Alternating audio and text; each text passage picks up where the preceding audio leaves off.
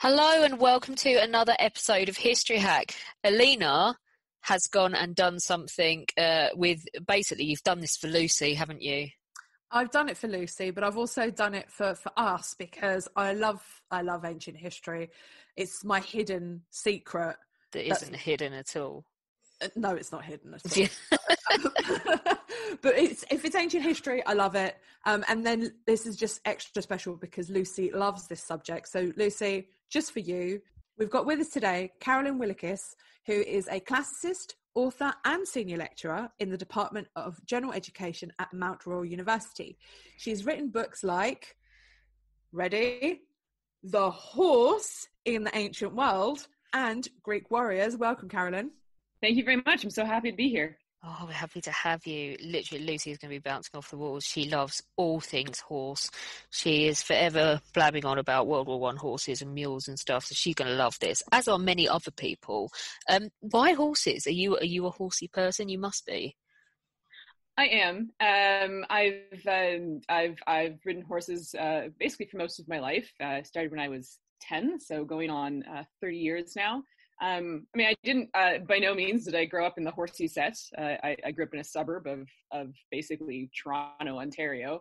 My mom is terrified of horses. My brother is allergic to horses, and my father is indifferent to horses. And yet, here we are.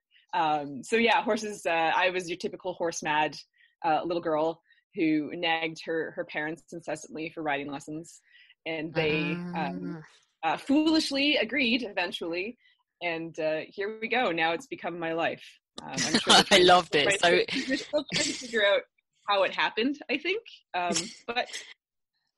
Yeah, I am like the antithesis of the horsey obsessed. I want a pony child. I my parents sat me on one in I think Tenerife when I was about five, and it moved, and I didn't like it, and they took me off, and I remember booting it in the ankle in disgust.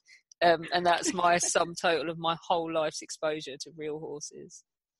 And I'm the opposite because I was one of those horsey kids who went horse riding uh, every weekend or every week as much as, and I even did my work experience for two weeks at a horse riding stable just so I could ride every day. Well, that was a waste of time, giving up that you ended up being a concentration camp historian. Well, exactly. So I didn't follow my passion in horses. Instead, I deal with the dark. So, but I'm going to love this because this is right up my alley. I mean, yeah, I never, uh, I, I, never planned on studying horses in, in grad school and, and, yeah, having this be my specialty. It never really occurred to me, to be quite honest. I assumed if I wanted to study horses, I had to be a veterinarian or go into like mm. biosci. And um, when I started my master's degree, uh, my, my wonderful supervisor, who, who was he, fantastic mentor, um, it was actually his suggestion. He didn't like the topic that I had picked about Alexander the Great. And uh, he basically said, But you ride horses. And I was like, I do why don't you write about cavalry? Because I don't know anything about warfare. He's like, but you know things about horses. And he gave me some books to read, and they made me scratch my head and wonder what people thought about how horses actually functioned. And uh, I fell into this rabbit hole that I've yet to climb out of in, in studying uh, horses in, in antiquity. So, and yet here we are exactly this is like it's all about the rabbit holes with historians isn't it so mm. let's start right at the beginning I mean, so who owned horses in the ancient world? Everyone? Not everyone. No. Slaves wouldn't have. Uh, was it a general thing, or is it a big deal if you own a horse? So horses have uh, pretty much, uh, from the time of their domestication, been a marker of status. Um, I love them dearly, but they're not the most practical animals in the world. Like in, in sort of the grand scheme of, of animals that we've domesticated to improve our lives, uh, horses were one of the, the last major domesticates, um, certainly long after cattle and sheep and goats and, and, and uh, dogs and cats and things like that. Um, and they're just, they can be tricky to maintain. So they've, they've long been representations of the elite. Um, but the way they represent that depends on cultural context. So if we look at a place like the the Eurasian steppe, you know, the steppes of Central Asia, which is probably where the horse was domesticated. You know, we're looking at pastoralist nomadic groups um, where the status then comes from the number of animals that you own. So having one horse would be like, oh, great, you've got one horse, but having a 100 horses or you know these vast herds of horses that then becomes your marker of status the more the more horses you have um, the the wealthier you are perceived as being and the more influential you probably are within your community. If we then shift to sort of the the greek world or the roman world and and look at more urban settings obviously you don't have the resources the land the space to amass these these substantial herds of horses. And so even owning a single horse um, marks you out as someone of wealth and importance. Um, you know the the the the Greek sage, the lawgiver Solon, the Athenian lawgiver Solon in the sixth century, he sort of overhauled uh, Athens because it was basically in this constant shit show of crisis mm. um, and civil war and, and all of that. And he reorganized the basically the hierarchies based on wealth as opposed to birth. Uh, and one of the so there's four categories he creates, and the second highest category is the hippeis, the knights. And so these are people who have the wealth to maintain a horse uh, for the purpose of fighting in the cavalry. So um, horses are beyond a doubt they are not for everybody. They are not the prerogative of everybody. and they are they are the emblem of of the elites. Um, because by and large, particularly in the Mediterranean world, particularly in the classical world, they're not really being used for a lot of practical day to day work either, right? They're like the sports car, is how I sort of tend to refer to them. Is okay. The, the donkey is like the the you know the old four by four that that does the work and and the mule is a, a, slightly fancier version of that and the horse the horse is really the sports car that you sort of dust out and and dust off and pull out when you want to be noticed Ah, uh, see, I would have assumed that pretty much everyone was riding around on a horse in the ancient world because it's the only way to travel.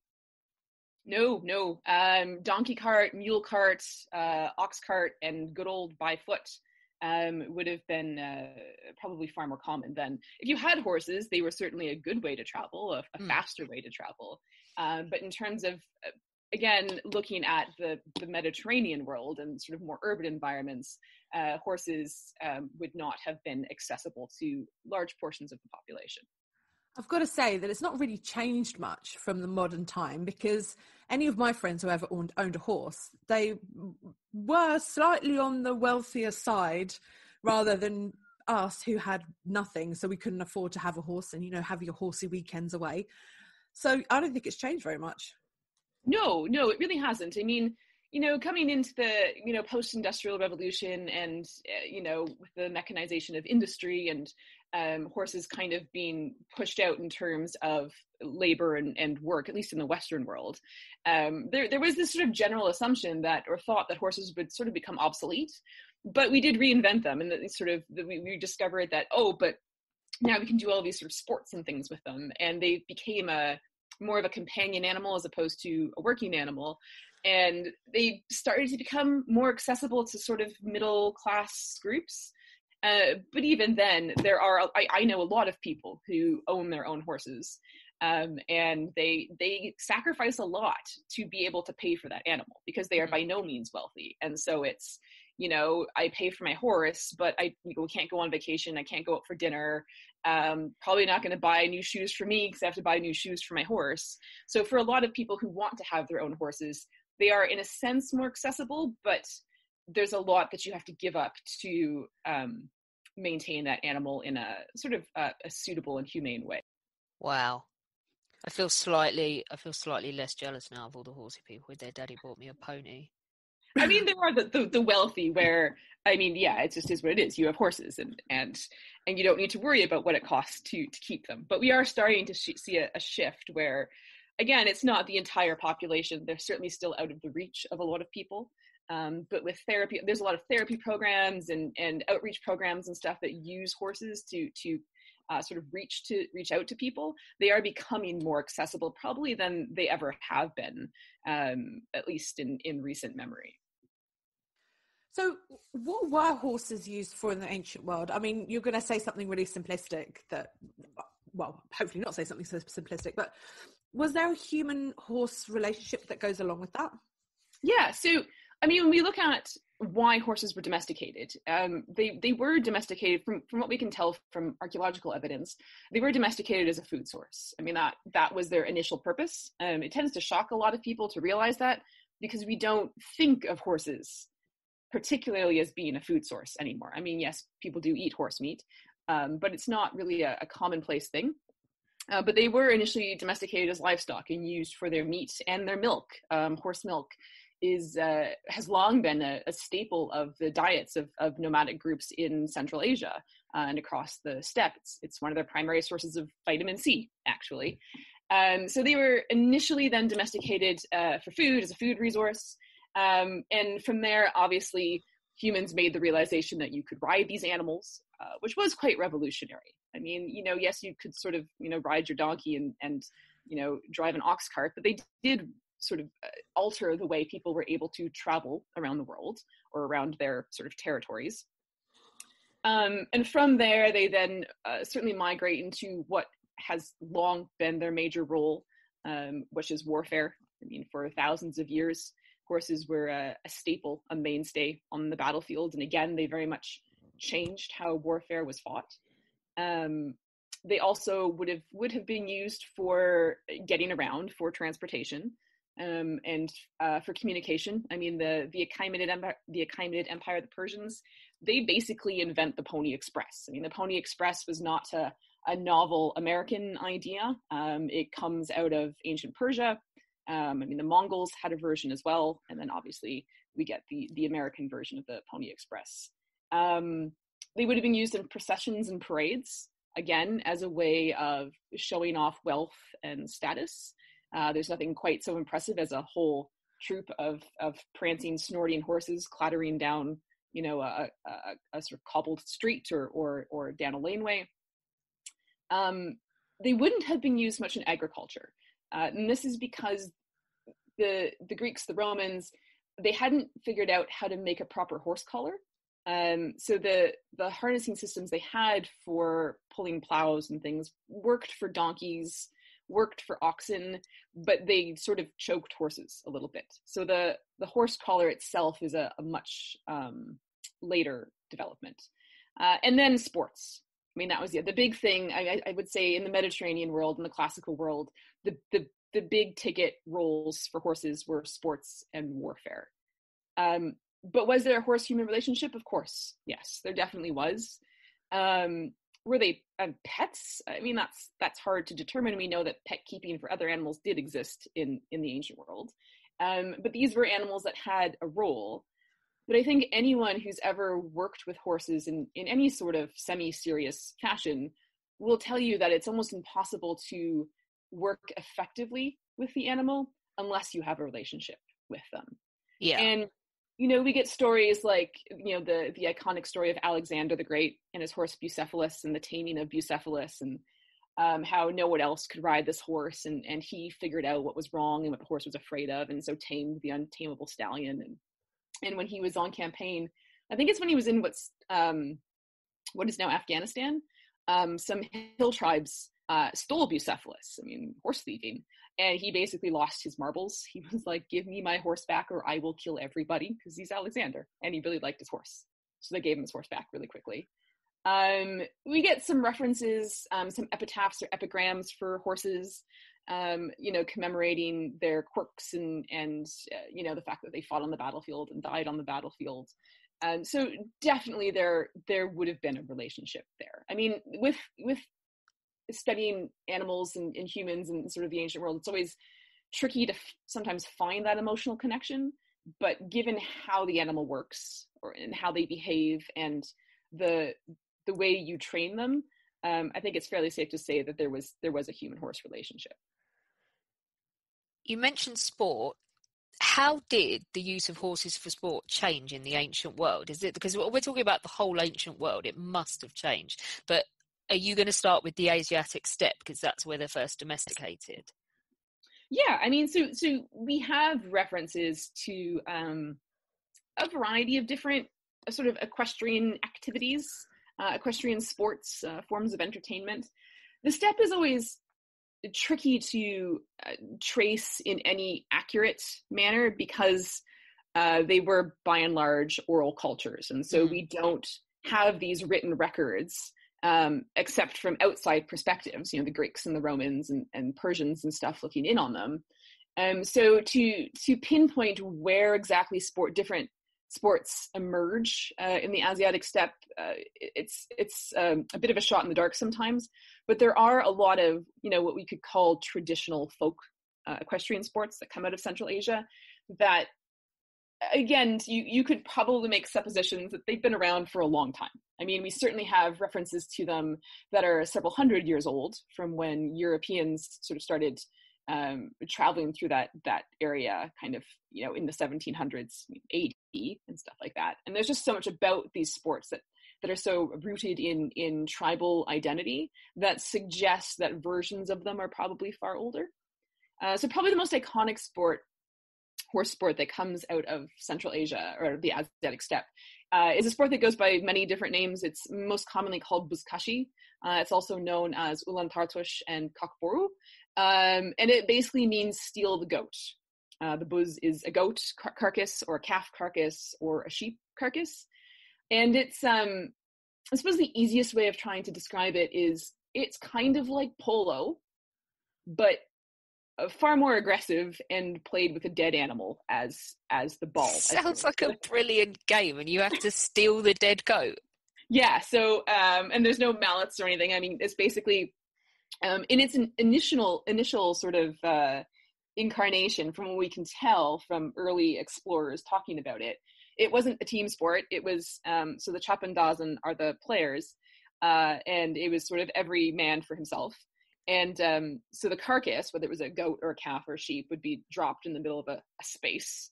Um, and uh, all of the riders would then charge at it and have to basically hang off the side of their horses to to yank up this, I mean, hefty thing, this carcass onto their horse. I mean, it probably would have weighed, I don't know, 50, I think it's 50 or 60 pounds at least, if not more. Um, and then they had to break clear and away from the rest of the mob and drop this carcass in an uncontested fashion, which obviously is really ambiguous. So there's lots of disputes over what's uncontested and what is contested because you had to like get away from everyone and somehow drop this carcass with no one near you, and everyone else is trying to yank the the carcass off your horse um, and you know the, there's these these fantastic vivid descriptions of you know this mob just galloping across the countryside and they're jumping over hedges and going across ponds and through irrigation canals like clinging to this goat trying to get away from from all these other players who are attacking you with their whips and trying to yank it off out of you know off from from where you're holding it on your horse. Um, the the more modern version is a team sport uh, so you've got these two teams, and there are there are goalposts that you then have to try and get your carcass uh, into. Uh, again, while everyone else is chasing after you, trying to to to yank it away, and it's utterly spectacular to to watch in person. Um, it's the, it's basically the national sport of Afghanistan. It was banned by the Taliban. Um, and so as soon as the Taliban fell, everyone started playing Buzkashi again, like the next day, because it's boom entrenched part of their of their heritage. And when you play see it in sort of the more rural settings where it's not set in a stadium, um, it's quite dangerous for the spectators because if you're not paying attention, you'll just get run over because they just charge wherever the person with the goat is is going. Um, and so there are different stories as to where the sport came from. Some trace it back to the Mongols. Uh, some say it goes past back even further, where sort of like you'd be charging through uh, you know, raiding an encampment, like a nomad camp, and you would just like grab people and pick them up and yank them on your horse and, and run away with them, sort of thing. Um, some say it was a way of killing wolves. That would, um, that's what the Ulan Tartush basically means to, to go after the wolves who would threaten your flocks. So there's there's all of these apocryphal tales of where it came from. Um, so we can't say for sure how old it is, but it's it's been around for uh, quite a long time. Um, and then they do things like they wrestle on horseback, which is always quite uh, quite entertaining to watch. And again, you can see how with both buzkashi and things like wrestling on horseback, there are obvious ties probably to military training. I think with most sports, horse sports, there are these these sometimes very obvious, sometimes more tenuous connections back to needing to train horses for warfare uh, and riders for warfare um, as well. And then if we move into the Mediterranean world, of course, we have some more established records of different sports. Um, I just none of them are going to beat Chase the Dead Goat for me, though. I, Probably I don't not. like this goat thing. I was going to say, could we, if we're going to try this at home, can we do it with like maybe a bag of books covered in oil or something? You know, because I can't What? be dealing with this. No, car- it's got to at least be a steak for Uh, you can- no, started- they- you can play with a synthetic goat as well. And in some of the big matches, so now there's the World Nomad Games that are held every couple of years. I so want to go to those. Yeah, they were supposed to be held this the summer of 2020 in Turkey. It was the first time I think they were being held outside of Kyrgyzstan. But Yeah, of course, canceled because of COVID. And so they it. play the game there. And I think because they're trying to popularize it and kind of like there are American teams and there are European teams and stuff that come to compete in this game. Um, there are sometimes uh, synthetic um, goats that are used. We we have have a stuffed goat, Alina, if it makes you happy. we can make a historian team. There we go. We have Matilda the stuffed sheep. Uh, she's she's made out of an old carpet, so we use Matilda when we make our half-hearted, vague attempts at trying to play Buzkashi as well. So yeah, it's harder than it looks. Our horses are also way too big for it, but uh, yeah, I think we're going to go. Let's go more civilized. I'm guessing things get less fun when you move into Greece and Rome. Well, I mean, it's it's far less charging around like a a mad hatter with a a, a dead animal on your horse. Um, but that doesn't necessarily make it less inherently dangerous or risky. Um, so we we do obviously know more from from the classical world because we have literary records and tons of uh, artistic evidence, visual evidence. Um, so, I mean, equestrian sports have long been part of the Olympic Games, including the ancient Olympics. They weren't part of the, the sort of first few uh, rounds of Olympics, but they're they're added on relatively early into the creation of the Olympic program. So, in the Greek world, you had uh, two types of horse racing. You had the ridden horse races, the keles races, and then you had the chariot races. And they were like the big ticket items because, again, who's competing in these equestrian sports? It's the elites um and and you get references these sort of really snooty references in some of the sources with these sort of you know tyrants and kings and aristocrats and members of the you know the 1% the upper echelon basically saying well i'm not going to compete in the wrestling or the running unless i can compete against people who are just like me because if you're the, the, the tyrant of syracuse or something you don't want to to to lose to a farmer because that's Yeah, you'd not going to look good for the PR. So you stick with the horses, you stick with the ponies, um, and uh, so yeah, you know, the chariot race in particular becomes a huge status thing um, because you need more than one horse. You know, there's the two horse chariot and the four horse chariot races. The four horse chariot race, the Tethrippon, was was the ultimate kind of status event. Um, and and entering teams becomes a way of of reinforcing that. Uh, like the my one of my favorite historical figures, Alcibiades, the notorious Athenian bad boy. Like in in the middle of the Peloponnesian War, uh, he goes and enters seven chariots in the Olympic Games. Like just obs- he's he's forking out an obscene amount of money to do this. And he says, "Oh, it's to you know glorify the state and blah blah blah." Um, but really, he's like, "Look what I can do." And you know, he gives this speech in Thucydides talking about how you know he finished first and second and fourth or something like that, which in and of itself is really quite fascinating because when it comes to the ancient Olympic Games, no one cares if you finish second. Like there was no silver medal. You won or you lost. And if you lost, it was shameful. But Alcibiades is really trying to show like, look how much I have and look how wealthy I am. Um, and look what I can do in the midst of a war. Oh no, I'm theoretically doing it for the state, but really it's it's for him. Um, and we know that these were inherently dangerous. Um, certainly at the big games, in the in the big contests, like like the Olympics and, and the other crown games, the individuals who were either riding the horses or driving the horses would very rarely have been the actual owners. Um, the degree to which they were the charioteers and jockeys were slaves or free is a, a topic up for sort of debate, um, but it wasn't the owners because there was, especially with the chariot races, a really high risk of death um, and and horrific accidents um, in the, on the racetracks. And then when we switch to the Roman world, um, the flat racing kind of fizzles out a little bit, and they are quite literally obsessed with chariot racing. When we think of fans and fanaticism and team riots and you know, even like the whole idea of like football hooliganism, you can trace all of that back to the Roman world and their obsession with chariot racing, um, where it just becomes this this industry. And the, the you know the famous Latin saying "Panem circenses," you know, bread and circuses.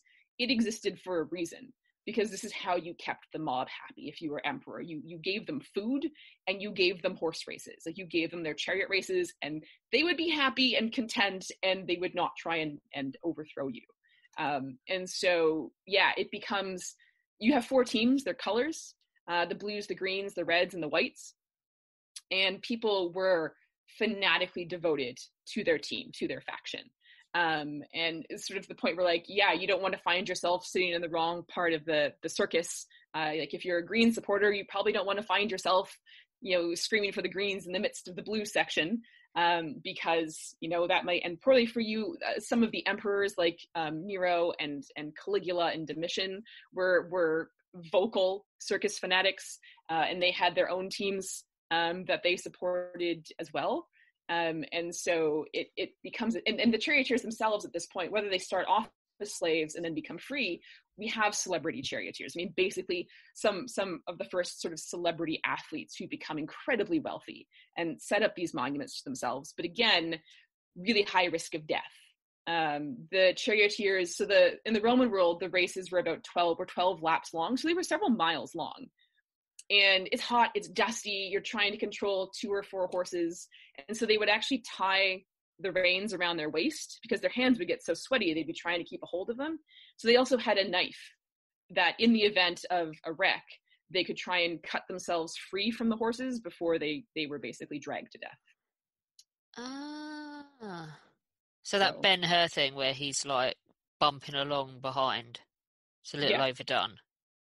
Well, I mean, it's Hollywood, you know.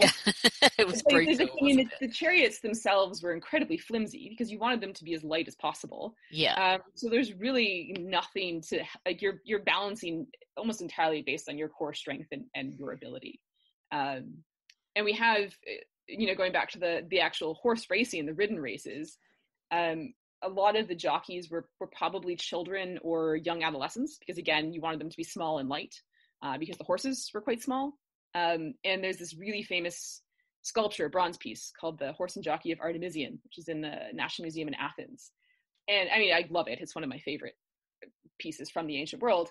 But the jockey, like he's this young boy, um, and he just looks utterly terrified. Like he's up there. I mean, it, his eyes are missing, so it adds to the effect. But even just the the expression on his face, he's like, "I got nothing. Like get I can't me out of here. I am just I am here to make sure the horse keeps going in the right direction, and that's about it. So wow. we have accounts of, of horses who dumped their jockeys in these races um, and were still awarded the victory crown for crossing the finish line first. So the horse was obviously, in that context, a bit more important than, than the jockey. But Oh, I love it. Well, let's. I could talk about this all day without moving on to warfare, but I have a question I really want to ask you because my dad's family are all descended from Alexander the Great's army up in Afghanistan. And oh, cool. So they had horses there, didn't they? Did they play a large role in Alexander's army when he went rampaging across the planet? Yeah, yes, I mean, um, I I am sure I have colleagues in, in the Alexander world who who will take me to task for this. Um, some of my dear friends, um, but I will I will 100% stick my neck out there and be like, horse. The cavalry was was an essential component, if not one of the the most foundational components of Alexander's um, success.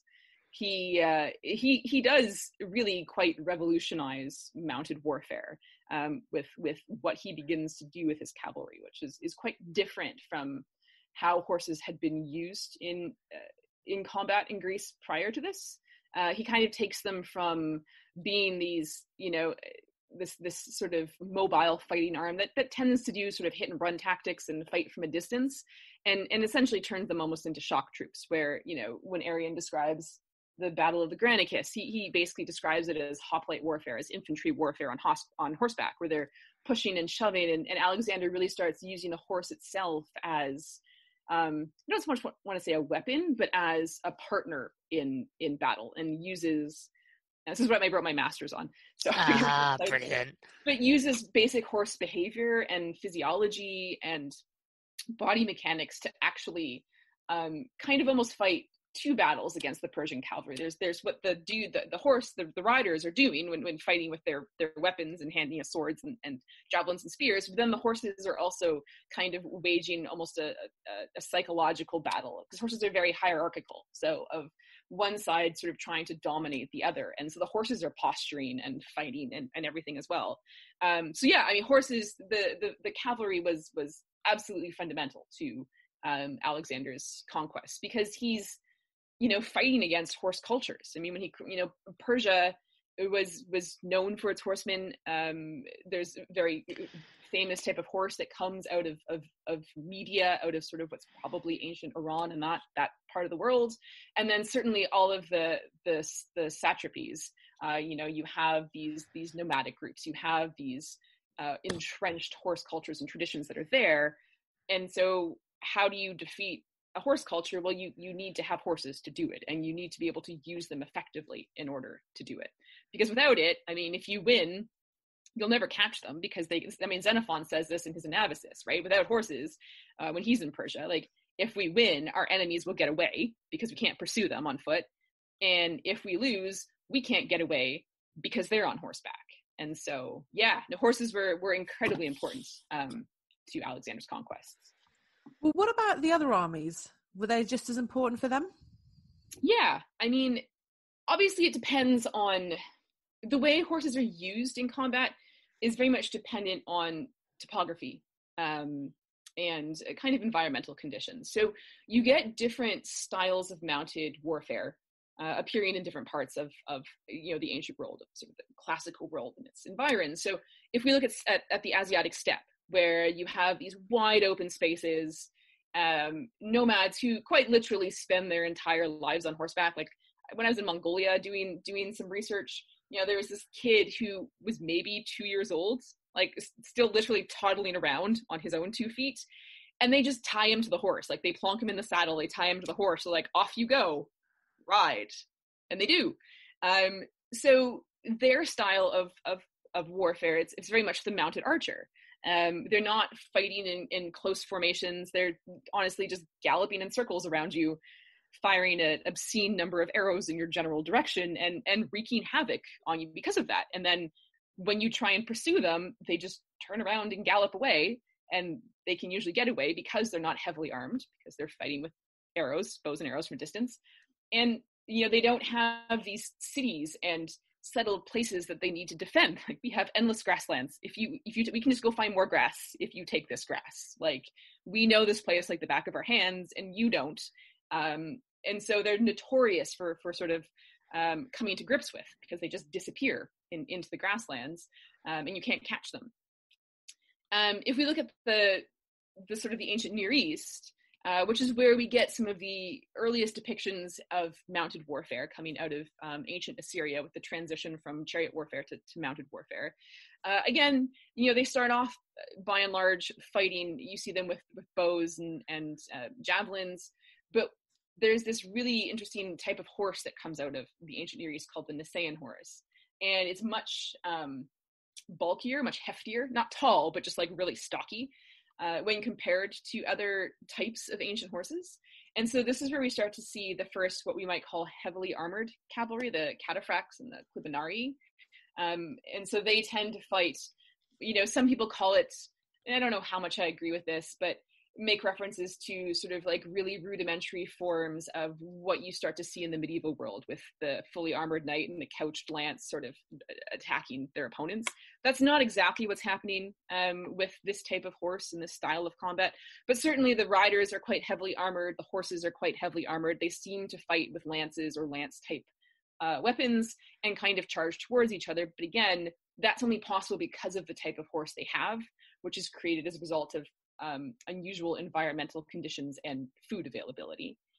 And then in the Mediterranean world, like the Greek world and the Roman world, Greece in particular isn't really um, ideal for horse breeding. I mean, it's four fifths mountains, right? If you look at mainland Greece, it's almost all mountains, and even the islands tend to be quite rocky and mountainous. So you don't have necessarily a lot of space to to to raise a lot of horses um, which ups their value i mean they, they become um, uh, quite a bit more of a value a really highly valued resource and so, really, up until Alexander, this reflects the way that they're used in battle. There's, and I'm not saying that Alexander was willy nilly throwing his horses away on the battlefield. There's always this need to want to keep your horses alive because it takes a long time to train a war horse. Uh, but there's almost this sense of caution uh, with pre-mass, pre-Alexander cavalry combat in Greece, where again, there's a bit of a reluctance to to really get into the thick of things um, and risk injuring or or losing your horse. Uh, and so they they tend to to use javelins and like I said those those hit and run tactics. So we get a, a variety of different styles of um, mounted combat that appear across the ancient world. Um, and despite what many people have said over time, they were not limited at all by the fact that they were riding bareback. Uh, they didn't have saddles and stirrups. Um, stirrups don't all of a sudden make everyone into magical warriors. Um, these these individuals were incredibly competent and capable of doing pretty much anything you can do with saddles and a stirrup, uh, saddles and stirrups on horses without them, because that's all they knew how to do. That's how they'd ridden their whole lives. So, well, that goes out the window then. that was your answer. I'll just buy some stirrups and then I'll be epic. Exactly. Well, that's a shame. Never mind.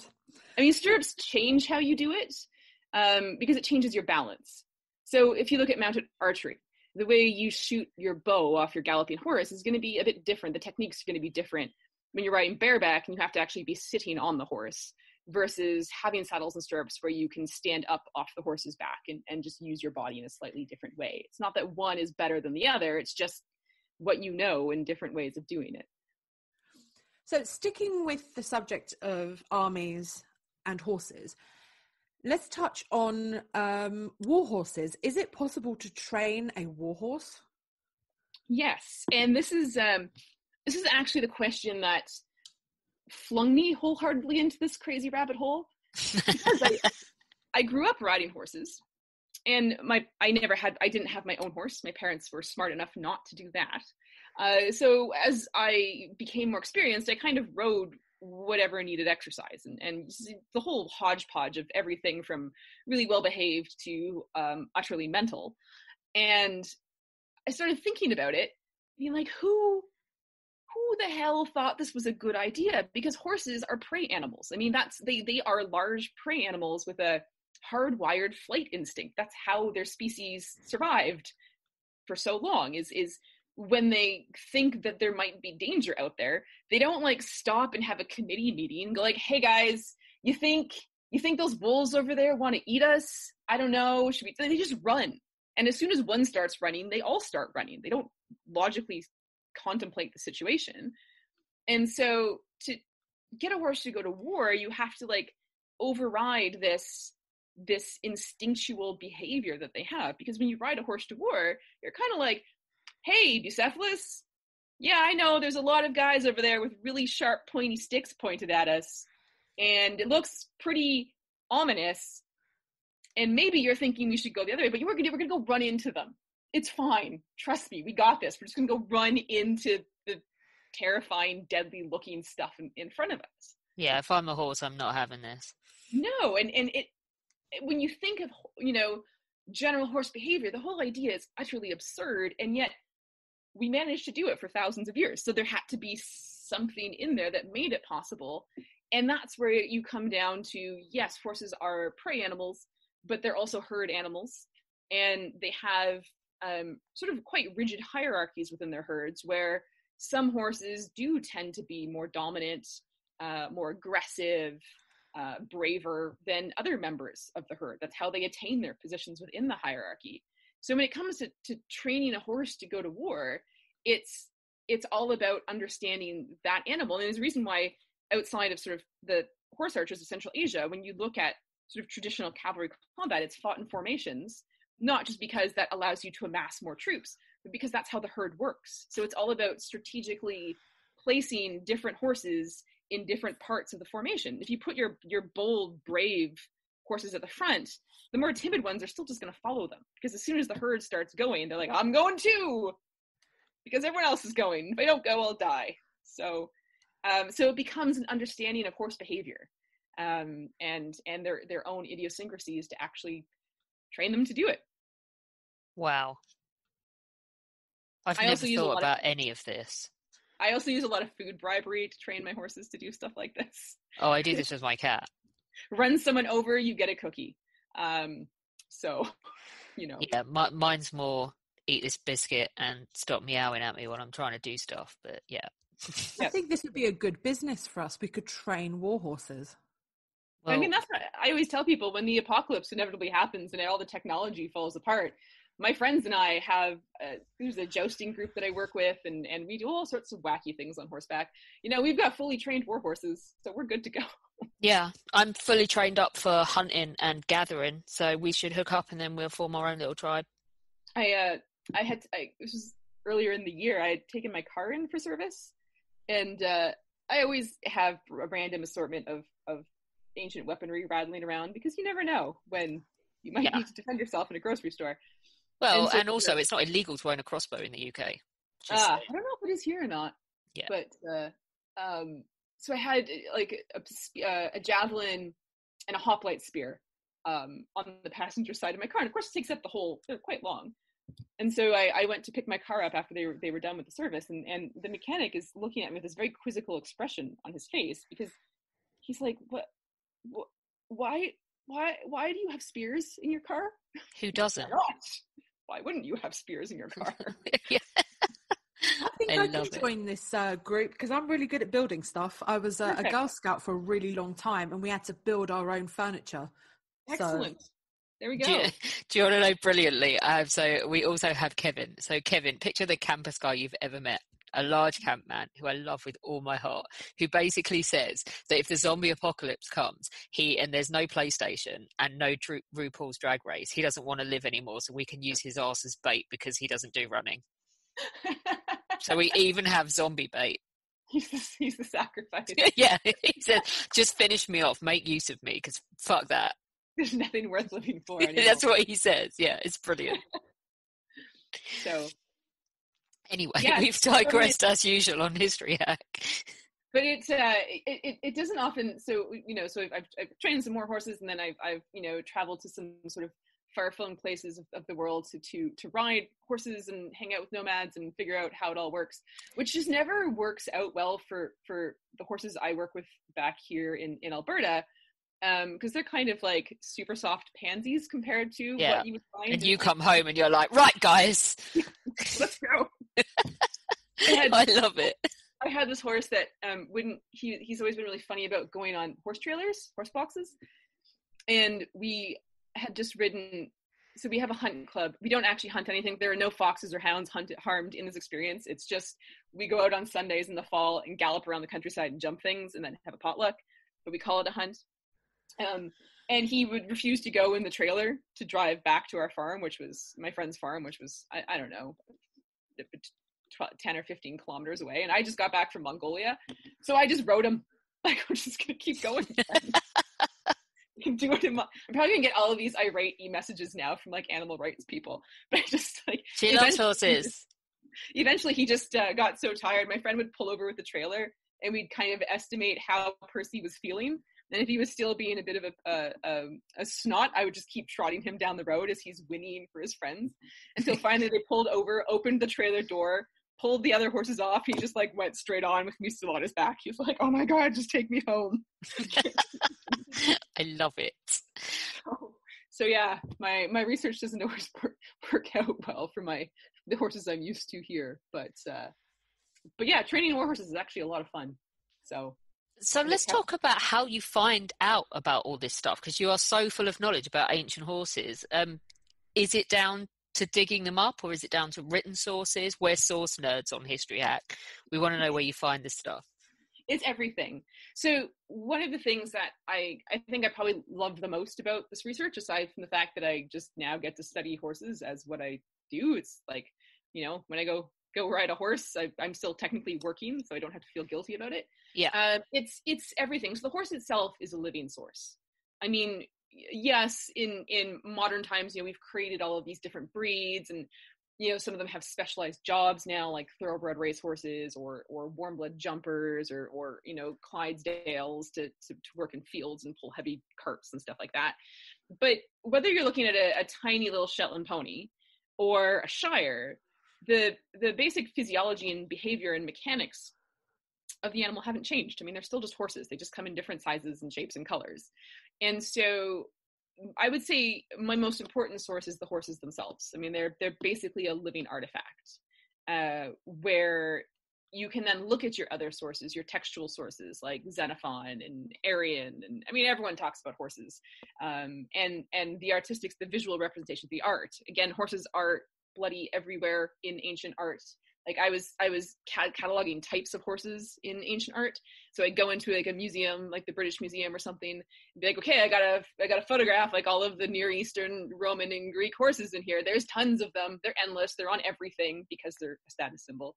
So that that led to some meltdowns um, and then the, obviously the physical remains, remains as well. So whether you're looking at the skeletal remains of the horses uh, or the equipment that was was used with them um, that we have from um, archaeological contexts, you kind of combine it all together, and then it's a bit of trial and error. You sort of, you know, people were very disparaging. Scholars have been very disparaging of early riders um, that you see in, in Near Eastern art with some of the earliest sort of recorded depictions of, of horseback riding, where they're riding in a donkey seat, like they sit really far back on the horse.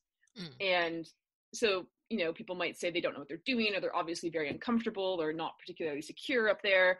And it's not the best way to ride a horse, but there are various reasons why they might do it. Um, and so you get on and you try. Like, why would they sit like this? You know, what does it feel like? How does it work? Um, and then digging through the sources and looking at modern rep- modern horse breeds or modern horse types in places like Turkey and Greece and and Spain and, and sort of across that part of the world, you realize that there are breeds of horses that are gaited. Um, so all horses walk, trot, canter, and gallop, but some breeds of horses have an extra gait, um, which is always super comfortable to ride. It's it's it's like sitting in the back of a Cadillac. Uh, the Icelandic horses do this, and there's this sport contest, I guess, where you sit on them while they're while they're doing this special gait and hold hold your pint of beer uh, and you don't you, you're supposed to not spill the beer as they're motoring along. You just sit there drinking your beer on this this horse that's that's going. Um, but when you ride these gaited horses you you sit differently. You actually sit farther back. And so when you look at this these artistic representations of people sitting farther back on the horse in this chair seat or this donkey seat yeah maybe they didn't know what they were doing or maybe it has something to do with the type of horse they're riding and the way it moves. And so you look at the the text you look at the the equipment, you look at the art, and you look at the the existing horse cultures that are still around in those parts of the world, you kind of piece it all together. Alina, do you want me to break your heart completely? Don't break my heart. These little Icelandic pony things are so cute, but like you're not allowed. They don't leave the country because they have never been infiltrated with like diseases and things from outside. So if an Icelandic pony trots off to go to I don't know Norway for a competition or they whatever, can never go back. They can never go home. Yeah, so I mean, there are plenty of people who breed them outside of Iceland, but yeah, if you take one from Iceland, um, you can't then take it back because no. they're worried about uh, disease and, and things that these horses don't have immunities to. Yeah, so that's it. That horse can never go home. That's so sad. Well, you give it a new home. Yeah, I know one that isn't as cold. Friends. Icelandic horses are cool. They are. They're super cool. They yeah. then they always look like fuzzy teddy bears in the winter, and they're tiny, tiny but super tough and easily carry full-grown adults. But they're not. Um, they're not as small as my favorite horse in the whole wide world. Oh, you're talking about Shetland ponies? Oh God, no, no, no, no, no, no. Well, one of these I'd like, and I'd keep it in my house because it's that small, and I oh, want. Oh, the the falabellas or the minis. I want a falabella so bad because they're so cute and tiny. It's, they're about the size of Nero. I know, but yeah, Nero they're, they're would try and eat some... it. Uh, yeah, Nero might eat it. yeah, it's, it's funny. Full grown, like full size horses, um, often tend to just utterly their brains fall out when they see minis for the first time. They're like, "What? What on earth is that?" It's like me but it's tiny and it, and it, barely comes up to my knees and what's going on and then you can just see them they have these sort of like little not all of them but some of them have just these meltdowns trying to figure out what this tiny pocket version um, of them is So outstanding. Uh, I have to ask. So I know that like America used to be full of roaming wild horses, didn't it? Are there loads of breeds that are gone now? And also, it was breeding the same back then? I mean, obviously, you can't jerk a horse off and send a, a sample on Concorde in the ancient world, but like roughly speaking, because they do that with racehorses, don't they? Yeah, uh, uh, yes, they, they, they. Well, I think with racehorses, because the thoroughbred world is actually really quite funny. They're very, very traditional. Yeah. So I don't think they actually allow by hand. It it's still yeah. Other breeds, it's yeah, tons of artificial uh, insemination. But I think with thoroughbreds, I've always wondered about the mental health of the people who like you know. Say say you go on a Tinder date with someone. You're like, so what do you do? Oh, I wank off horses for a living. Like. Job. Mm, is there job satisfaction? Because if there is, frankly, that's weird and illegal here. A bit concerning. Yeah. Um, so yeah, in terms of breeding, uh, I mean, I don't, I don't like using the term breed uh, to designate ancient horses i use type because a breed is quite an anachronistic term and it's mm. it's it's often you know you have you can have all of these different horses that come from the same general region. Like you know we could look at the the european warm bloods that that sort of rule the olympic disciplines now. Um, and they all come from different parts of like germany and the netherlands and, and france and belgium and and uh, you know all across there. And they all have different breeds and different breed registries and breed regulations but by and large they're in terms of appearance and what they're bred to do, they're really not that different. They're bred to do the same thing, right? Yeah. So it becomes more of a regional, like, hey, this is our horse versus your horse sort of thing. Um, so I mean, I talk about types, and these types are very much created by environmental factors and, and use. Uh, but yeah, there was. We know that there there again in certainly the Near East and the Mediterranean world that there there were breed breeding programs. Um, you know, we hear stud farms uh, from the ancient Near East, you know, looking back to Assyrian records and and things like that, references to horses sort of being bred in a, a regulated, sort of large scale, um, where they they seem to be keeping some sort of records as to who is is is coming from where, uh, and horses then being shipped from one part of the Assyrian Empire to to the other. Um, again, we have references to horse breeding coming out of the classical world as well, um, and and talking about sort of you know what type of stallion to use, what type of mare to use, what features you should look for, um, what what type of temperament and and how old they should be, and and then when you should start training the young horses. So we know that there is um, uh, an attention to breeding.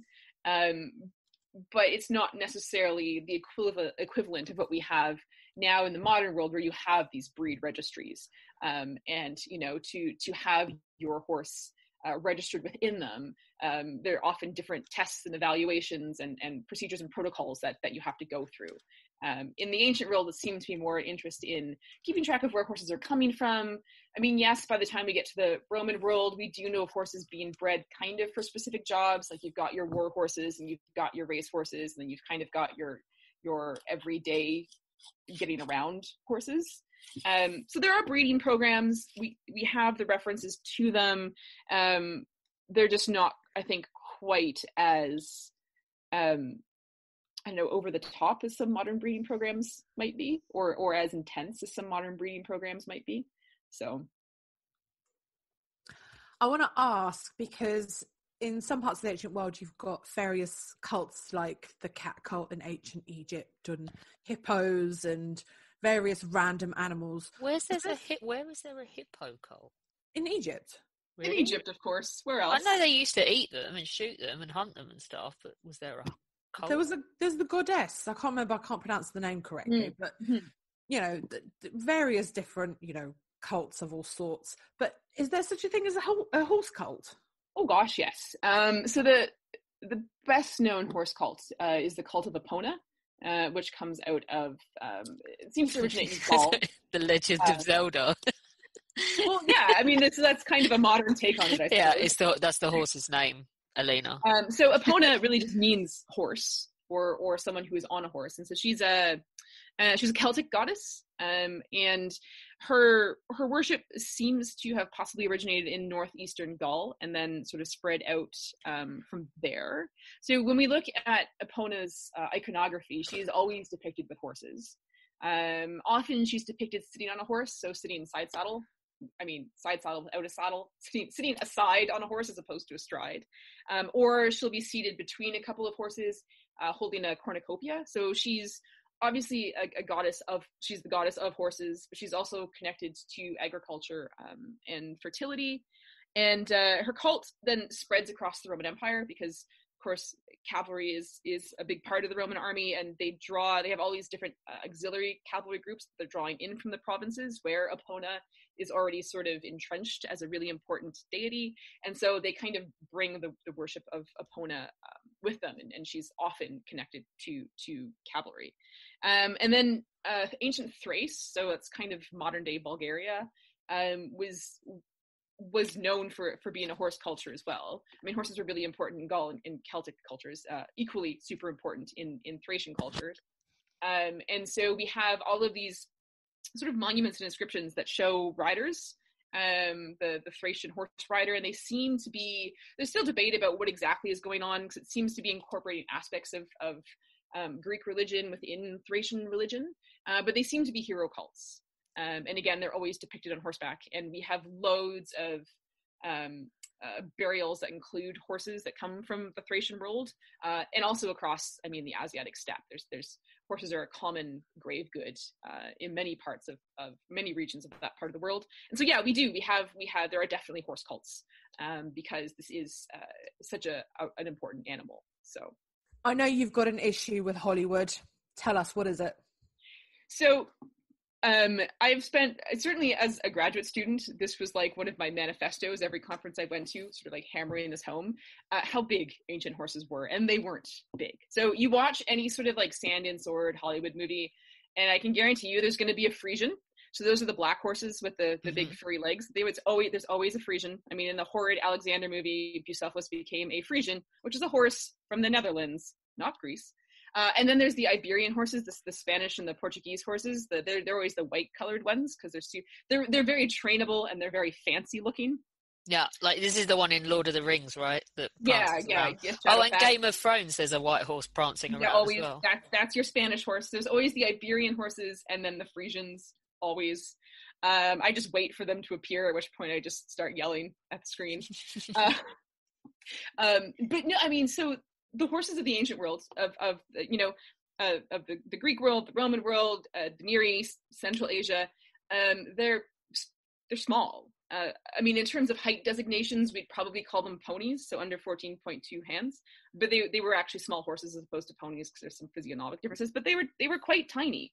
Uh, so when you when you look at their the representations of these horses in art, people often struggle to accept that and like like they, when they talk about the parthenon frieze like oh they've made the horses look small to glorify the human form like no that's how big they were and if you go to greece today and you go to the mountains and you look at the greek mountain ponies that's how big they are because big horses bless them are utterly impractical um, they they they need a lot of food um, in terms of their their physical form. They're they're harder to maintain. They're more prone to injuries because they're so big.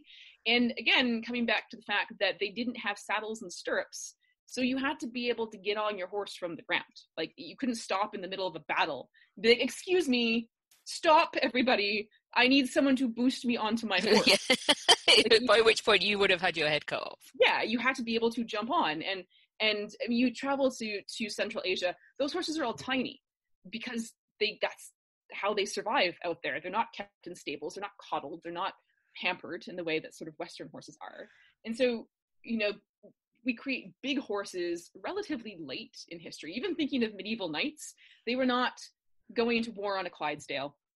They were not going to war on a Shire or a Percheron. They were they were riding those Spanish horses by that point in time because size doesn't equate strength. It's all about how they're built. Um, so yeah, I mean, I you know Alexander the Great basically conquered his empire on a what we would consider a very small horse, um, but that was what was suited to the environment and and certainly far more adaptable and um, kind of practical than than a lot of the horses that we use uh, for sports and such in in the modern world. So yeah, no, they rode tiny horses, and people just have a really hard time grasp sort of accepting it because we think of, of ponies as being for little kids. A fully armed warrior on you know a 14 hand horse is just very odd to a lot of people What so. is the film though that's hilarious where the person can't ride and they put them on a tiny, tiny horse and it's hilarious? Oh God. Oh, it's completely left my mind now, but it's like a. Oh, oh Sherlock Holmes. I think that's it. yeah, yeah, and they put him on a tiny little, a tiny little. Yeah, so yeah. that basically is what Alexander's battles look like. Yeah, I mean they were maybe a little bit bigger than that, but uh, but they were by no means tall. I mean, I think 15 hands would have would have been considered uh, quite tall for yeah. for a, a, horse, and and a lot of the archaeological evidence certainly seems to to support this. So, size matters, ladies. Size matters. Sometimes bigger isn't better. Exactly. Yeah. oh my god, Carolyn, thank you so much for coming on to talk to oh, us. Well, thank you about... for having me. It's been uh, it's been an absolute delight to uh, spend some time talking about horses oh, I feel like we you need to come back and do like a specific rather than an overview. Like I feel feel we need to do cavalry and Alexander warfare. Any anytime, I'd uh, I'd be more than happy to do that. Alina's the booking fairy. Alina, make it happen. It will be awesome. I will make it happen. Super. Along with the other 300 things I've screenshotted and sent you and said, make them happen. But make this happen. make it so. yeah. Join us tomorrow when Ricky Phillips will be with us to bust every myth we can get to inside an hour about the Falklands War. And there are a lot of them. Uh, as he points out, there's actually only one day in the entire 70 odd days of conflict where the British and the Argentinians actually agree about what happened. So don't miss that one. Don't forget that we do exist on Patreon as History Hack and on Patron as well, which is Podbean's own version. Uh, Alina and I have had massive fun doing this in 2020, uh, but life's going to change quite a lot next year and we're going to actually have to go and earn a living, etc. If we want to keep up the regularity that we've been bringing you and the kind of guests that we've been bringing you and the workload, then we will need your help. There's going to be incentives for joining on either of those platforms. We're revamping ourselves on both of them. So don't forget to go in. You can do as little as a dollar a month and it all goes towards keeping up History Hack as regular as we've been able to bring it to you this year. We are now on YouTube. We are posting all of our new episodes on there and we have our own channel and we are gradually posting all of the back episodes because we have been made aware of the fact that you can only find the last hundred on some platforms. So you can go and listen to your heart's content and laugh at the cartoons and have a great time. So do go over there and subscribe.